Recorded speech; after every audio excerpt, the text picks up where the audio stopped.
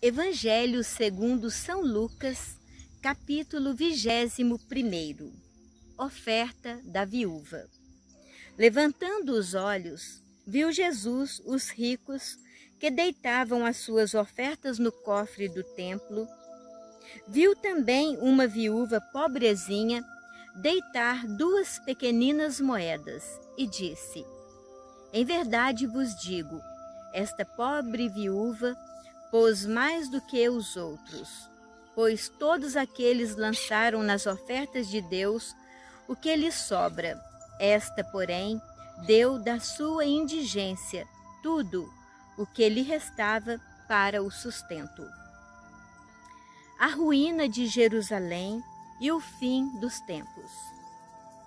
Como lhe chamassem a atenção para a construção do templo, feito de belas pedras e recamado de ricos donativos, Jesus disse: Dias virão em que destas coisas que vedes não ficará pedra sobre pedra, tudo será destruído. Então o interrogaram: Mestre, quando acontecerá isso? E que sinal haverá de saber-se que isso se vai cumprir? Jesus respondeu: Vede que não sejas enganados. Muitos virão em meu nome dizendo: Sou eu. E ainda: O tempo está próximo. Não sigais após eles. Quando ouvides falar de guerras e de tumultos, não vos assusteis, porque é necessário que isso aconteça primeiro, mas não virá logo o fim. Disse-lhes também: Levantar-se-ão nação contra nação e reino contra reino.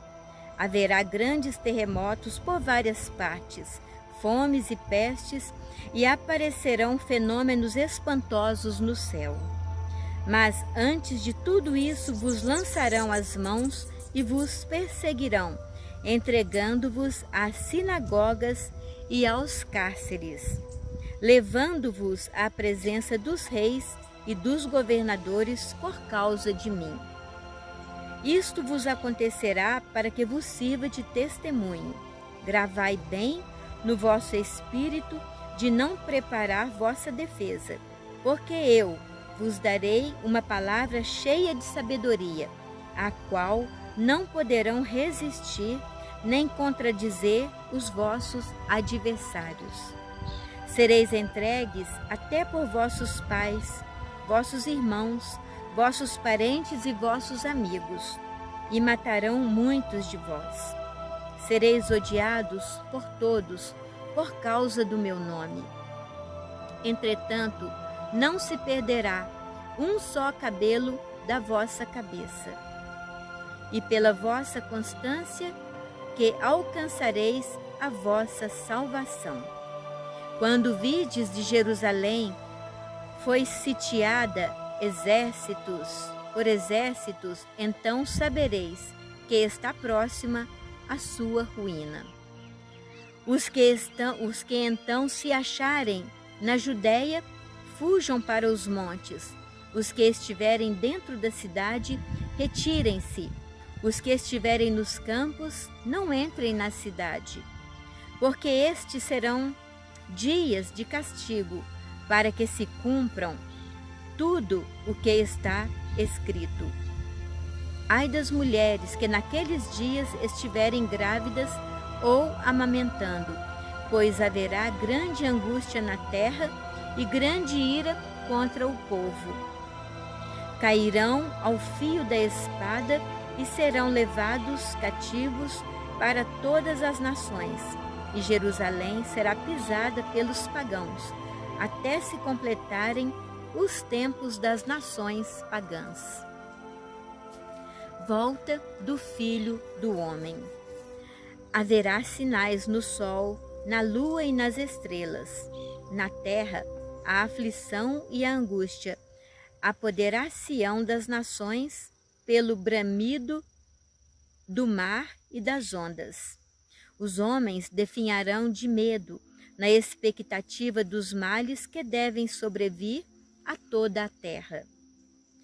as próprias forças do céu serão abaladas.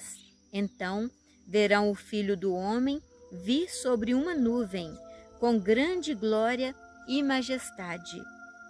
Quando começarem a acontecer estas coisas, reanimar-vos, reanimai-vos, levantai as vossas cabeças, porque se aproxima a vossa libertação.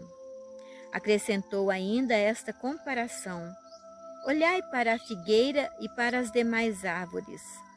Quando elas lançam os brotos, vós julgais que está perto o verão.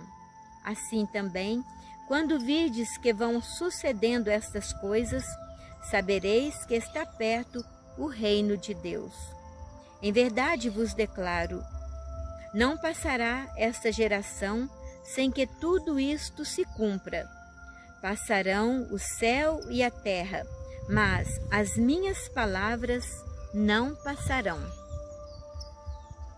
Velai sobre vós mesmos, para que os vossos corações não se tornem pesados com o excesso do comer, com a embriaguez, com as preocupações da vida, para que aquele dia não vos apanhe de improviso. Como um laço cairá sobre aqueles que habitam a face de toda a terra. Vigiai, pois, em todo o tempo e orai a fim de que vos torneis dignos de escapar a todos estes males que hão de acontecer e de vos apresentar de pé diante do Filho do Homem. Durante o dia, Jesus ensinava no templo e à tarde saía para passar a noite no monte chamando, chamado das Oliveiras e todo o povo ia de manhã cedo ter com ele no templo para ouvi-lo.